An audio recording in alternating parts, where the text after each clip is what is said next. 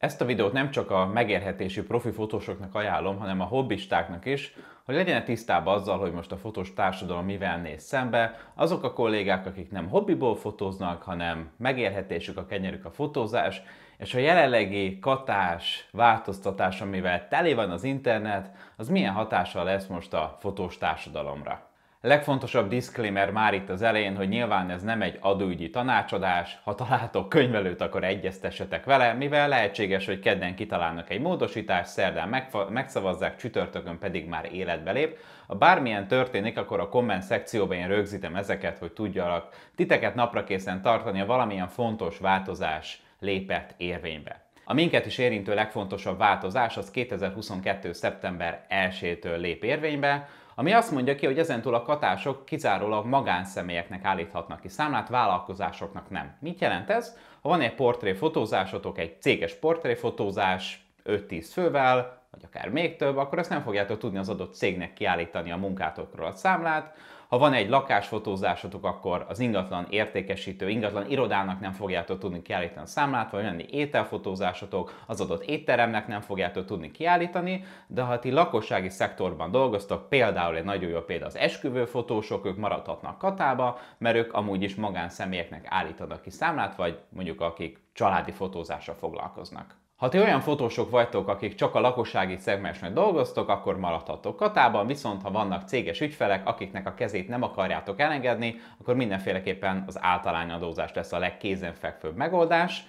Át lehet azt gondolni, hogy esetleg elengeditek teljesen a, a céges fotózásokat, ahol Kft-nek kell kiállítani, és teljesen átálltok a lakossági szegmensbe, ha úgyse volt ez olyan sok, viszont nem nagy különbség van fotósként a katás és az általányadózás opciója között. De még mielőtt levezetem nektek, hogy miért nincs szignifikáns különbség a katás és az általányadózás opciója között, fontos kritérium, hogy ez csak fotósként állja meg a helyét ez az állítás. Azelőtt azért számoljatok azzal, hogy könyvelési költség, ami még ha átmentek általányadózásba, akkor még fog jelentkezni, és az adminisztráció, hát katásként nagyon egyszerű volt, általányadózásban már a jelenlegi tudásunk szerint azért valamennyivel bonyolultabb lesz, mert a katás adózásnál egyszerűbb egyébként nem nagyon létezett még. Találtam egy kalkulátort, amit le is linkeltem nektek a leírásba, megtaláljátok, ahol meg tudjátok adni, hogy mennyi a kiszámlázott összeg, amit egy évbe kerestek, és ő ki fogja számolni nektek, hogy katás,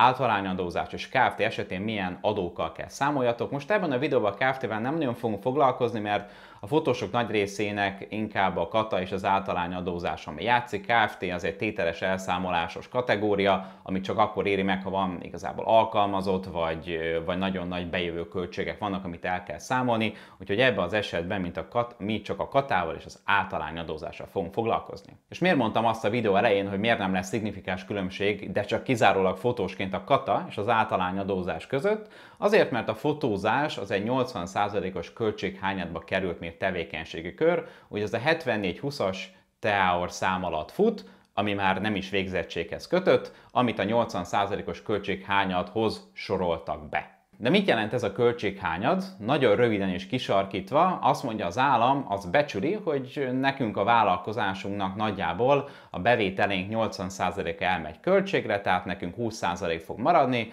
úgyhogy 20% után adózunk. Nem kell számlákat gyűjteni, tehát ez nem egy tételes elszámolás, hogyha veszünk egy fényképezőgépet, akkor el kell tenni és azt a számlát megőrizni. Nem kell semmilyen számlát gyűjteni, ezt így az állam azt mondja, hogy nagyjából ez ennyi, ugye a bevételed, a kiszámlázott összeg 20%-a után adózol. Tehát, ha mondjuk ebben az esetben van egy 10 millió forint, mert most számoljunk egy kerek összeggel, megadjuk ezt, hogy 80%-os költséghányad, és itt össze is hasonlítja, hogy kata versus általány adózásban milyen különbség fog kijönni.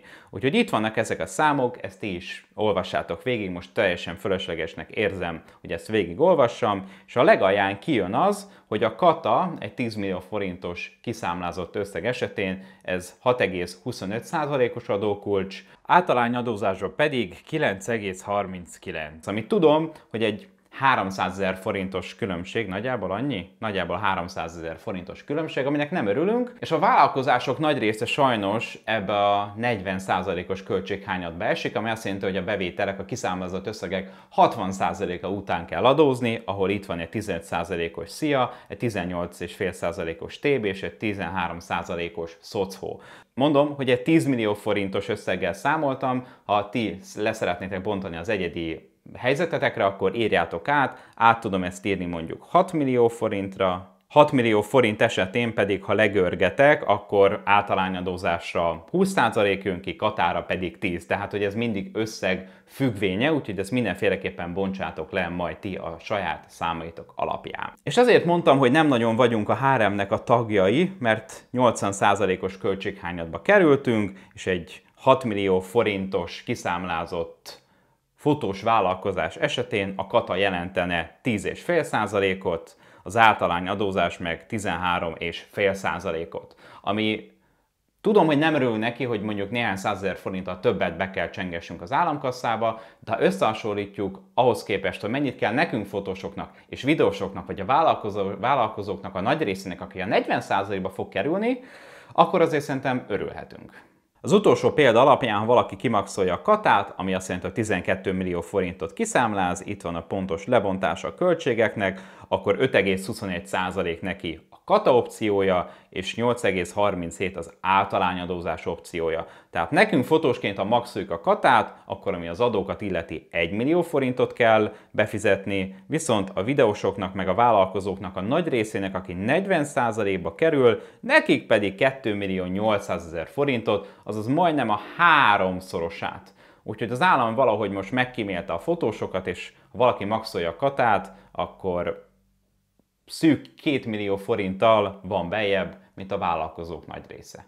Úgyhogy fotósként mindenki mérlegelje magának, hogy ez a éves szinten 300 ezer forint plusz kiadás, kis adminisztráció, valamennyi könyvelési költség, ez megírje, hogy átmenjen általányadózásba. Szerintem ez a fotósok nagy részének meg fogja érni, viszont aki videós vagy más vállalkozási formával foglalkozik, el kell dönteni azt, hogy plusz 2 millió forint igen, plusz 2 millió forint adót be kell fizetnie azért, hogy ő cégeknek is számlázon. Lehetséges, hogy el fognak gondolkozniuk azon, hogy én inkább maradok Katában, elengedem a céges ügyfeleket, és valahogy lakossági szegmensben megpróbálom pótolni a kieső bevételt, vagy elmegyek taxisnak.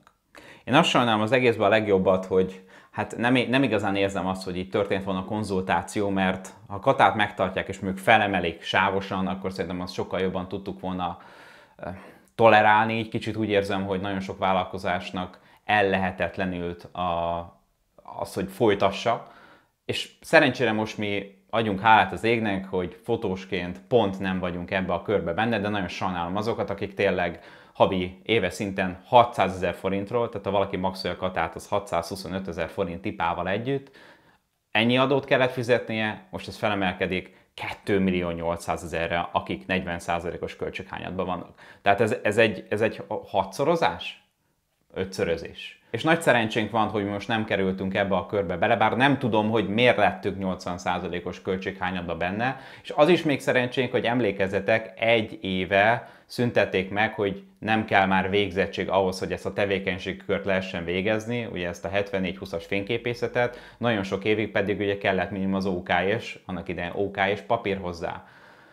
De nagyon sajnálom azokat, akik beleesnek ebben a 40%-os költséghányadba, és én sem tudom, hogy mit csinálnék, hogy ezt hogyan kezelném, így szerencsére nincsen óriási probléma, ennek biztos lesz egy infláció gerjesztő hatása, valaki biztos annyira ideges lesz erre, és azt mondja, tudjátok, hogy akkor szálltok meg, és akkor visszaadom a vállalkozást, és elmegyek külföldre mosogatni, vagy keresek eurót. Foglalkozok mással, de hogy kösz, ezt így nem. Másfél hónap leforgás alatt szeptembertől neked már ötszörös adófizetési kötelezettséged van. Király! Az áremelést meg nem lehet egy az egybe áthárítani, tehát ez egy ilyen téveszme. Hát ha 23%-ra növekszik az adóm, ugye most az adott példa alapján 6%-ról vagy 5%-ról, akkor köszönöm szépen, akkor 20%-kal megdobom az árakat. Öm, nem vagyok biztos abban, hogy ez minden megrőn azt mondja, ja, jó, persze, kifizetem, biztos lesz ilyen, de ezt egy az egybe az árba beleépíteni, örülök, hogyha valaki ezt meg tudja tenni, mert van olyan kiváltságos ügyfélköre, de, de azért szerintem ez kevés szolgáltató tudja, tudja megtenni, úgyhogy szerintem valami olyasmi fog megvalósulni, amit reálisnak látok, a felét azt bevállalja a vállalkozó, felét pedig a megrendelő, ami árfelhajtás, árfelhajtó erővel fog bírni, és tovább fogja tolni az inflációt több vállalkozás pedig sokkal inkább decemberben realizálja a bevételének a nagy részét. Tehát, hogy azért, amikor jön az évvége, a cégeknek el kell költeni a évvéges büdzsét, mert jó évet produkáltak, hogy kevesebb adót kelljen fizetni, rengeteg a családi, az pont nem fog éríteni, de a céges fotózások, nálam is a szállodafotózások, videósok, meg rengeteg vállalat, webshopok esetén, hogy decemberben rengetegen vásárolnak. Hát mondjuk ott is azért sok magánszemély költi a pénzét, de a cégek ugyanúgy. És ha valaki úgy tervez az egész üzleti évét, hogy majd én nem tudom, november-decemberben fogom a, a céges verkeken belül a bevételem nagy részét realizálni, azzal mi lesz? Tehát, hogy így szeptemberben behozzák ezt, és még egy üzleti évre sem lehetett tervezni, hogy legalább januártól legyen, és akkor jó, akkor januártól kitalálok valamit. Másrészt pedig másfél hónap alatt hány könyvelő kell ehhez, hogy nem tudom, 300 ezer vagy hány katás fog átállni általányadózásra. Hát nincs az a könyvelő munkaerő, aki azt mondja, hogy persze elintézem. Mindegy, nem is, nem is hisztizek, tudnék még rengeteget mesélni erről a témáról, így is hosszú lett ez a videó. Amit gondoltok róla, írjátok le a komment szekcióban, és a kalkulátort is megtaláljátok. Sziasztok!